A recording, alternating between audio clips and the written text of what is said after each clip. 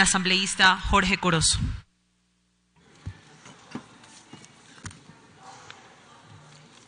Muchas gracias, señora Presidente, encargada de la Asamblea Nacional, señoras y señores asambleístas. En meses anteriores, el Pleno de esta Asamblea aprobó de forma unánime un proyecto de ley muy importante. Una ley que garantiza los derechos de las personas adultas mayores, que en el Ecuador suma 1.250.000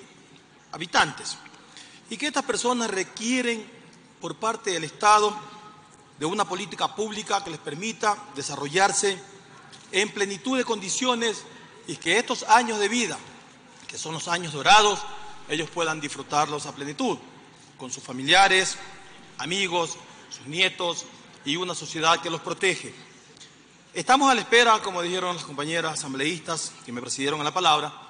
de que la Corte efectivamente entre en funciones y que esta importante ley ya sea publicada en el registro oficial para que los adultos mayores que siguen esperando esa gran noticia de que ya esta ley estará publicada en el registro oficial y pueda ser de utilidad para todas las personas que viven en desventajas en el país, sea ya una realidad. Pero más allá de eso y a la espera de esta buena noticia, tenemos que decir que con la promulgación de la Constitución de la República del año 2008, el Estado ecuatoriano sufrió una gran transformación.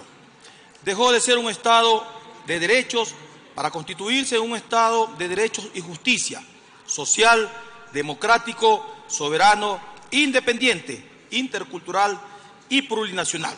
en donde la Constitución, en el marco que es el donde descansa jerárquicamente el Estado y éste tiene por deber la obligación de promocionar, proteger, garantizar, respetar y hacer respetar los derechos de las personas por igual, entre ellas los adultos mayores que tanto han aportado a este país para que efectivamente hoy sea el Estado el que se encargue de garantizar todos estos derechos. Más aún se destaca el hecho de que la Constitución de la República, por primera vez, dentro de los derechos de las personas, determina grupos de atención prioritarias a las personas adultas mayores, niños, niñas y adolescentes, mujeres embarazadas, personas con discapacidad, personas privadas de la libertad y quienes adolecen de enfermedades catastróficas o de alta complejidad, quienes recibirán atención prioritaria especializada en los ámbitos públicos y privados, especialmente en los campos de inclusión social y económica y protección contra la violencia. Los derechos humanos deben ser reconducidos, respetados y protegidos por todos, ya que no se trata de una obligación reservada únicamente para el Estado, al contrario, se constituyen obligaciones primarias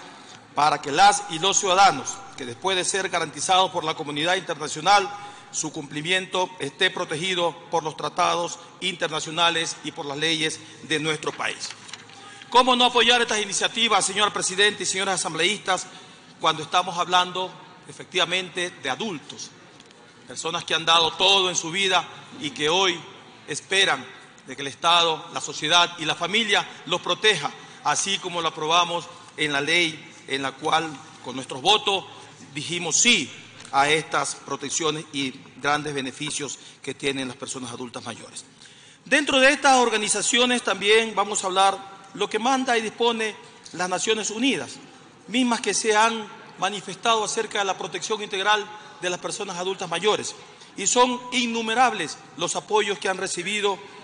los adultos a nivel del mundo, en donde se pide se garantice a todos aquel que haya cumplido 60 años de edad y que esté en estado de vulnerabilidad,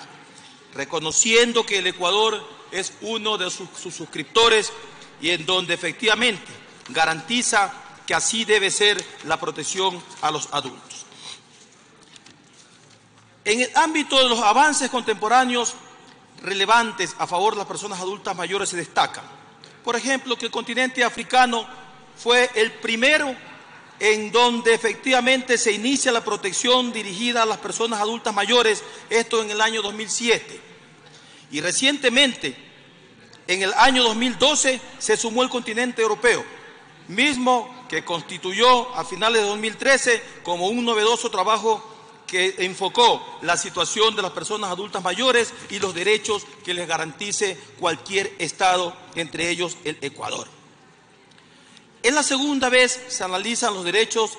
económicos, sociales, culturales de las personas adultas mayores, considerando además la discriminación múltiple, la violencia y el abuso a la vejez. En ambas oportunidades, el debate permitió identificar las posibles brechas que existen entre la protección de los adultos mayores y también se manifiesta que por parte de sus propios familiares han sido víctimas de ataques y abandono. No podemos discutir respecto a la protección que han hecho los gobiernos, entre ellos el Ecuador, en el cual a través de la ley de la protección a los adultos mayores, el Estado ha garantizado los mismos, pero estamos a la espera de que la Corte Constitucional haga efectiva esa solicitud por parte del Ejecutivo para determinar que estos beneficios de los cuales van a ser los adultos mayores beneficiarios sean prontamente eh, eficaces y capaces de resolver la problemática que tenemos en el país. La protección integral en salud, la protección integral en cuidados intensivos, la protección integral al adulto, en respetar sus espacios, sus condiciones, en la cual la sociedad tiene que aportar, esperemos que esta sea eficaz y sea oportuna. ¿Cómo no apoyar estas iniciativas cuando sabemos que algún día, si la vida nos permite, llegaremos a esa edad en la que exigiremos a la sociedad respeto por nuestras condiciones? Estamos plenos y seguros que vamos a contar con los votos mayoritarios de esta Asamblea Nacional y que sumemos más esfuerzos para que esto efectivamente se cumpla en beneficio de quienes aspiran a tener una vida digna, en la cual el Estado ecuatoriano, la sociedad y esta familia efectivamente garanticen ese derecho y ese respeto para estas personas que han cumplido un ciclo importante en la vida y en el país. Muchísimas gracias, señora Presidente, señoras y señores asambleístas.